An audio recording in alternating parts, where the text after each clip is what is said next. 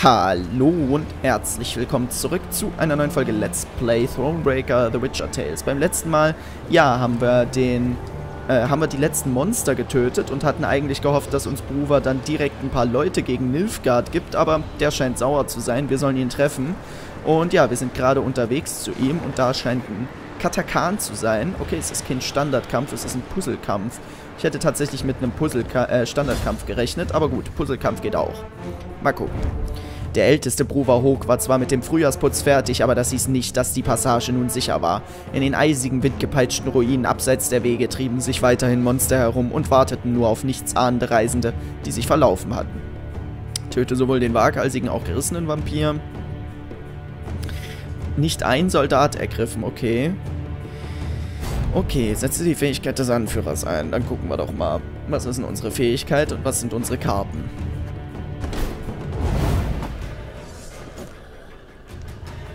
Ähm, okay, da ist doch jetzt aber ein gezogen worden. Ergreife alle zwei Züge zu Beginn des Zugs die stärkste Einheit in der gegenüberliegenden Reihe und verschiebe sie in die am weitesten rechts liegende Position in der verbündeten Fernkampfreihe befinden sich vier. Verschiebe die verbündete Einheit, in die am weitesten links steht, auf die gegnerische Seite. Ach, okay, der zieht die stärkste und der die schwächste. Okay. Das heißt, der zieht gleich die Soldatenpuppe, ne? Wenn der die stärkste Einheit zieht. Okay. Ich habe ein Schwalbe, Krafttonikum. Also er zieht die stärkste. Und danach muss ich irgendwie... Was macht er denn eigentlich? Okay, er hat keine Fähigkeit. Und er zieht dann die schwächste. Ach so, okay, ich verstehe. Ich krieg den wieder zurück. Alles klar, okay, ich weiß, wie es gedacht ist. Also die Idee ist, dass ich mir die Wagenburg zurückhole, indem ich ihm vier von den Puppen rübergebe. Oder drei. Ich glaube drei. Wenn vier sind, schiebt er die ja wieder zurück. Ähm, das heißt, ich muss ihm eine stärkste geben, eine schwächste, noch eine stärkste.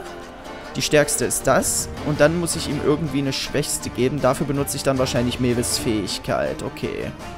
Gucken wir mal. Jetzt zieht er sich ihn, genau. Jetzt gebe ich hier Punkte drauf. Er kriegt ja dann zusätzlich noch Punkte. Damit zieht er jetzt die Soldatenpuppe. Ich spiele einfach mal noch eine Soldatenpuppe. Zack. So, jetzt zieht er sich wieder die stärkste Einheit. Das heißt, ich verstärke die einfach um 10. Zack. Und jetzt zieht er sich wieder die schwächste Einheit. Da muss ich einfach nochmal eine Soldatenpuppe spielen. Und jetzt spiele ich hier noch eine Soldatenpuppe und benutze die Fähigkeit. Das war simpel. Simpel und schnell. Und zack. Oh, wieder so viel Geld. Jawohl. Aber irgendwie kriegen wir diesmal nicht ganz so viel. Kann das sein? Oh.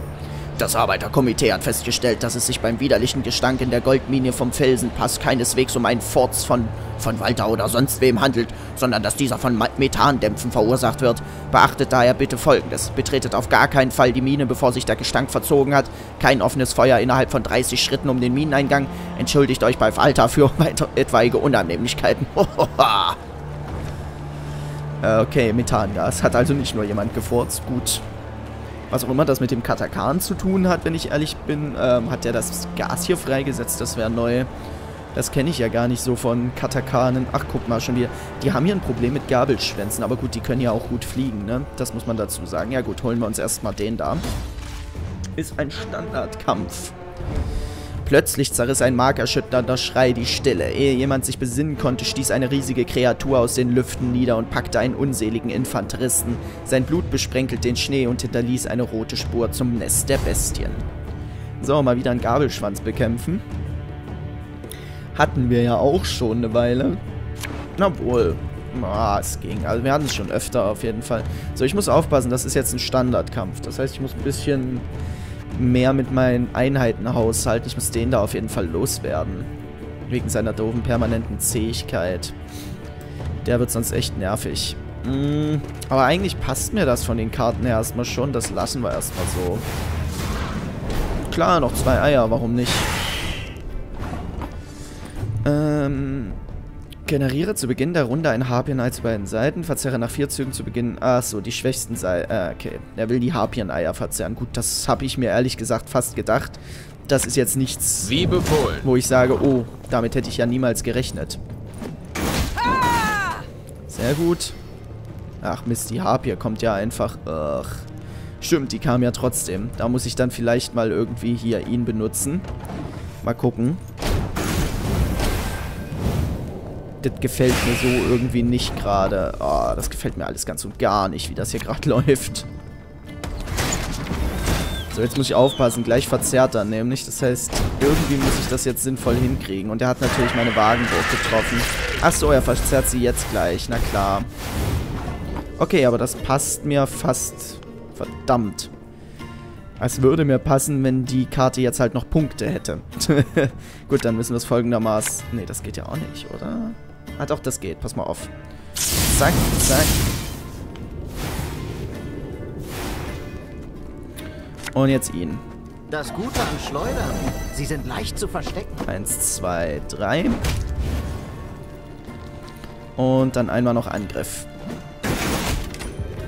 So, punktemäßig ist er noch vorne.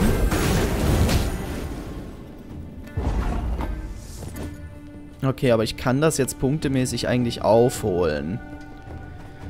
Bis mal offen. So, und dann Gabor. Ich könnte ein Bier vertragen. 15 Schaden auf den. Dann habe ich sogar nämlich die bessere Zähigkeitskarte jetzt. Ganz ruhig da, ihr blöden Schleimlinge. Gut, damit haben wir Runde 1 gewonnen. Und müssen jetzt uns am, be am besten erstmal um den Typen kümmern, finde ich. Das wird gerade am wichtigsten. Ich habe das Gefühl, die Wagenburgen überleben nicht lang. Die tausche ich mal aus. Jetzt hat's... Ach ja, stimmt, klar. Ich habe ja Gascon nicht, Gascon nicht ausgetauscht. Ähm, das passt mir eigentlich wieder. So, pass mal auf, mein Freund. Jetzt spiele ich nämlich als erstes... Erst einmal... Wo ist denn die Karte jetzt? Ah, da. Die Streuner-Kavallerie. Der tötet den nämlich jetzt einfach. So, da kannst du dein neues Ei äh, produzieren, wie du Bock hast, mein Freund. Das macht mir nix. So, zack. Das könnte jetzt gehen. Schön erstmal ein bisschen Feuer gelegt. Und jetzt muss ich mal gucken, dass ich irgendwie mit Neve mal was gebacken krieg. Mm, mm, mm. Das ist jetzt gerade ein bisschen doof. Dann nutzen wir mal den Streuner von Spalla tatsächlich. Was du so? Wobei das auch nicht gut ist, wenn ich ehrlich bin.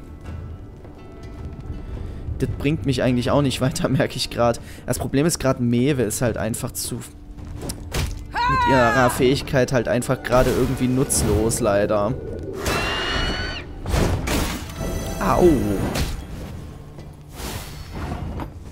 Kriegt der... Macht der Schaden jedes Mal? Welcher ist denn das? Ach so, nee, der hat einfach gerade zwei Schaden gemacht. Sorry, ja, klar. Ja, ja, klar, ne? Hm. Probieren wir es mal mit Barnabas. Ich glaube, das wird dir gut gefallen. Komm, Krähenauge.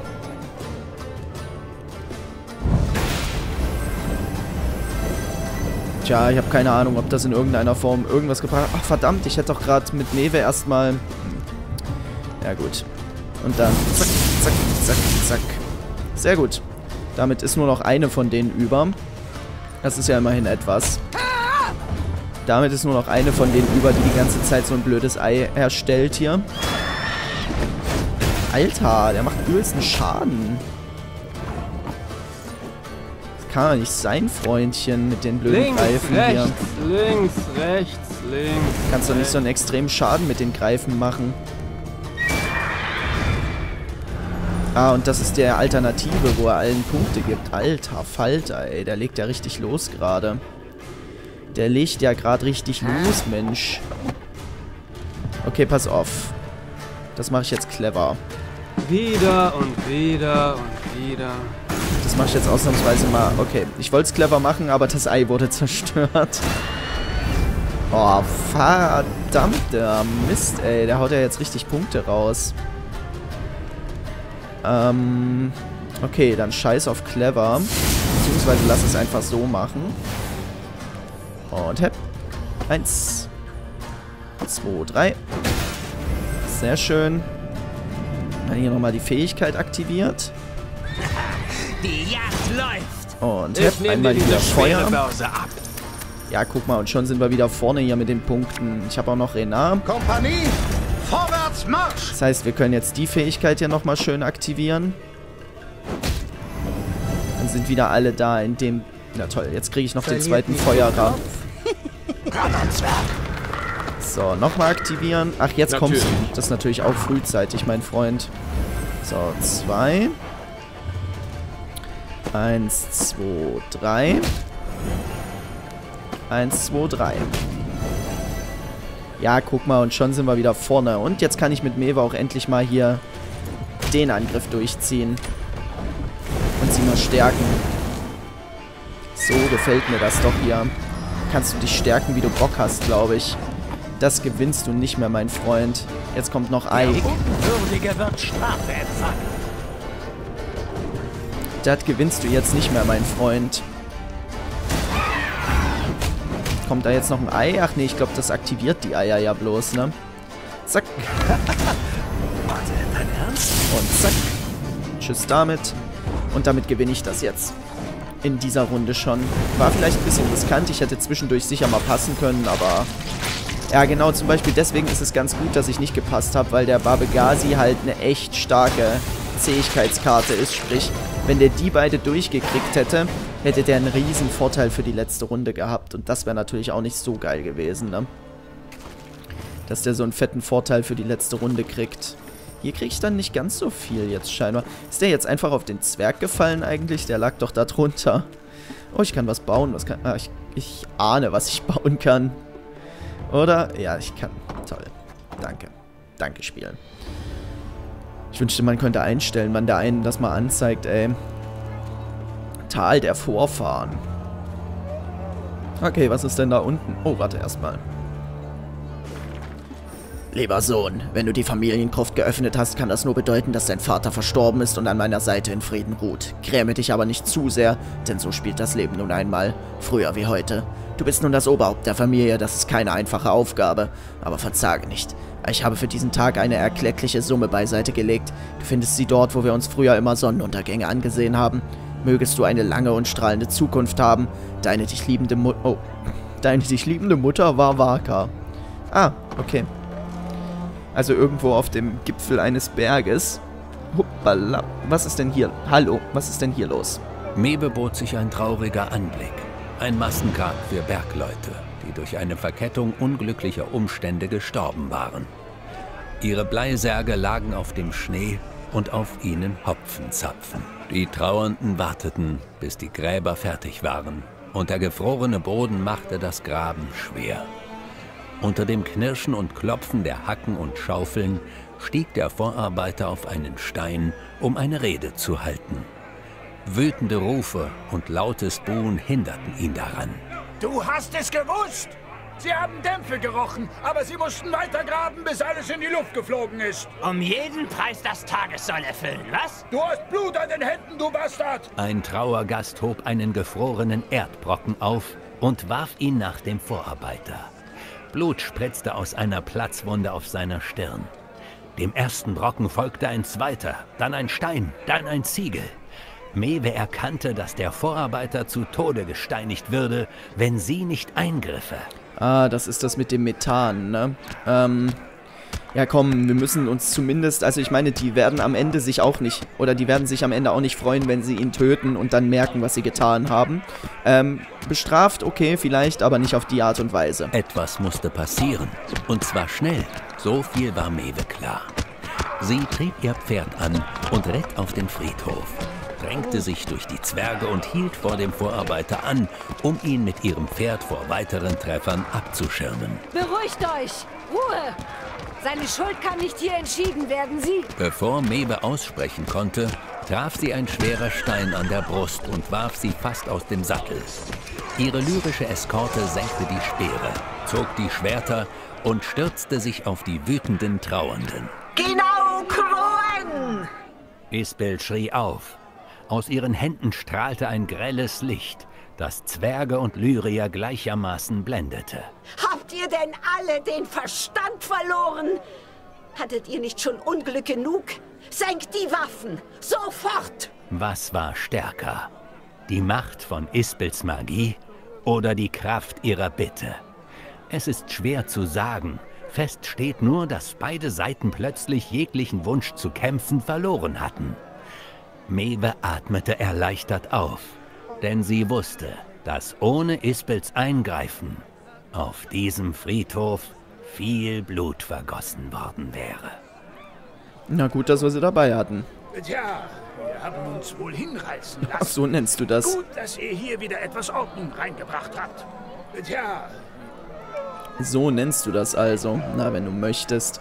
Gut, haben wir die Sache auch nochmal geklärt. Keine Ahnung, ob das Prover vielleicht noch freuen wird. Wie gesagt, wir wissen ja noch nicht mal so wirklich, warum der eigentlich sauer ist.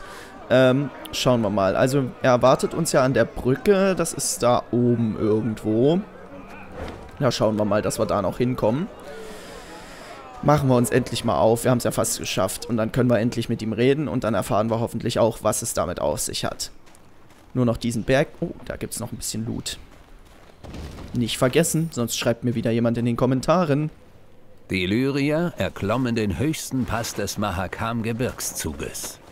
Der Schnee knirschte unter ihren Stiefeln, die kalte Luft stach in den Lungen und der Wind riss an ihren Umhängen. Mewe wandte sich schweißgebadet an Renard. Dort bei den Felsen werden wir... Der Rest ihrer Worte ging in einem gewaltigen Donnern unter. Der ganze Berg rumpelte mit einem tiefen, vibrierenden Grollen. Es wurde lauter und hallte ohrenbetäubend von den Felsen wieder. Die Lyrier blickten sich orientierungslos um. Nur wenige hörten Gabors Warnung. steht da nicht herum! Hinter einen Felsen! Schnell! Schnell! Mewe folgte dem Blick des Zwergen und schrie entsetzt auf. Die Schneedecke hatte sich gelöst und toste nun in einem Nebel aus eisigem Staub den Hang hinunter. Bevor sie reagieren konnte, stieß sie die weiße Flut auf die Knie, schlug über ihr zusammen und drückte sie zu Boden. Danach spürte sie nur noch allumfassende Kälte und Angst. Mewe überlebte. Die Zwerge, die den Lyriern zu Hilfe kamen, gruben sie gerade noch rechtzeitig aus. Manche Soldaten hatten nicht so viel Glück. Die Königin sah zu den blau gefrorenen Leichen. Neben ihnen lagen tote Pferde, zerschmetterte Wagen. Die Verluste waren gewaltig. Mewe brannten die Tränen auf ihrer eiskalten Haut. Gabor sprach eine Weile mit dem Anführer der Mahakam-Wache, die sie gerettet hatte. Seine Miene war finster. Na? Und? Was hat er gesagt? Erzähl ich noch. Erst braucht ihr was Warmes zu trinken und zu beißen. Nein, Gabor, ich muss wissen, was zur Hölle hier passiert ist. Tja, das war eine Lawine. Natürlich war das eine Lawine. Aber was hat sie ausgelöst? Was war das für ein Lärm? Signalhörner. Unsere. Also habt ihr uns im Schnee begraben? Zwerge? Ja, aber nicht absichtlich. Okay, ähm... Ja, dann erzähl mal, wie meint er das denn genau? Sag schon, schnell. Also, wir räumen unsere Berge regelmäßig, so wie Menschen Schnee vom Dach schaufeln. Sonst kracht uns das ganze Zeug irgendwann auf den Kopf. Wenn der Schnee tief genug ist, lösen wir kontrolliert Lawinen aus. Dann müssen wir nur noch ein bisschen aufwischen und die Straße ist wieder sicher. Schön und gut, aber warum wolltet ihr gerade dann aufräumen, als ich hier vorbeikam? Fragte ich mich auch. Laut Plan steht das eigentlich erst nächste Woche an. Aber jemand wollte den Berg früher geräumt haben. Wer? Sag ich euch. Aber erst müsst ihr versprechen. Wer? Owain Eb Klenvok, der Gesandte Nilfgaards. Wahrscheinlich als Rache für den Angriff auf ihre Karawane. Dieser Bastard. Renard! Renard! Wartet! Ich verstehe, dass ihr wütend seid. Zu Recht. Aber ihr werdet Owain nichts nachweisen können. Der Fuchs hat sich nicht selbst die Pfoten schmutzig gemacht. Das ist mir egal. Ich finde ihn und bringe ihn um. Und dann? Was wollt ihr dann Bruver erzählen? Mewe, ihr seid zu Recht sauer. Aber ich bitte euch, lasst es dabei bewenden. Sonst werdet ihr Mahakam mit leeren Händen verlassen. Augenblicke später meldeten Späher, dass Owein nördlich der Unfallstelle lagerte. Mewe musste sich entscheiden, wie viel sie riskieren wollte, um sich am kaiserlichen Gesandten zu rächen. Oha, na jetzt wird's ja... Ah, da ist die Lawine. Hat uns begraben. Und eine ganze Menge unserer Sachen auch noch. Ja, das ist dann quasi die Folge daraus, dass wir die Karawane angegriffen haben. Ein Bart des Ältesten. Ich wusste nicht, dass jemand im Tal ist. Die Nilfgaarder meinten, die Straße wäre frei. Bastarde. Ja, so sehe ich das auch. So ein Chaos. Es tut mir leid. Aufrichtig. So ein Chaos. Na, dann schauen wir uns die Nilfgaarder mal an. Wo lagern die denn? Ah, da sind sie ja. Das Nilfgaardische Lager, da sitzen sie und lachen. Flüsterte einer der Späher. links vom Weg. Mebe blinzelte. Die Nilfgaarder hatten unter einem Felsvorsprung Schutz vor dem fallenden Schnee gesucht. Aus ihrem Lager wehte der Geruch von gebratenem Fleisch und es war Gelächter zu hören. Die schwarz gekleideten Soldaten hatten allen Grund zum Feiern.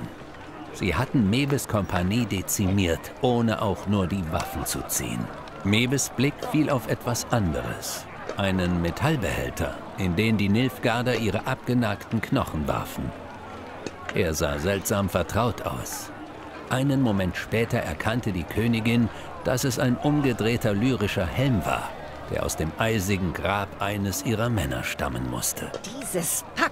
Zischte Mebe. Ich lass sie bluten. Mewe, zum letzten Mal. Reißt euch zusammen. flüsterte Gabor. Ihr wollt Rache, das verstehe ich. Aber denkt an den Preis. Bruver wird euch niemals verzeihen, wenn ihr Owen auch nur ein Haar krümmt. Und ihr werdet jegliche Hilfe vergessen können. Es herrschte Schweigen, das schließlich einer der Späher brach. Herren, euer Befehl? Greifen wir an? Tja, greifen wir an oder greifen wir nicht an? Im Endeffekt, ich glaube, man braucht ja nicht viel sagen. Wir haben die Situation gesehen. Ähm, wir wissen, was die möglichen Konsequenzen sein können. Ich meine, man muss dazu sagen, wir haben viel für Bruver getan, seit wir hier sind. Also, ähm, wir haben uns sowohl quasi, oder wir haben uns sehr für ihn verdient gemacht. Vielleicht haben wir sogar Glück und er kann über diesen einen Vorfall dann hinwegsehen. Aber ja, im Endeffekt nichtsdestotrotz, die Entscheidung steht an. Was wollen wir mit den Nilfgaardern machen, angreifen oder nicht? Und das ist natürlich mal wieder eine Entscheidung, die ihr treffen dürft. Wie gesagt, eigentlich die Argumente auf beiden Seiten sind klar. Die Frage ist, überlässt Mewe ihrem Zorn die Entscheidung?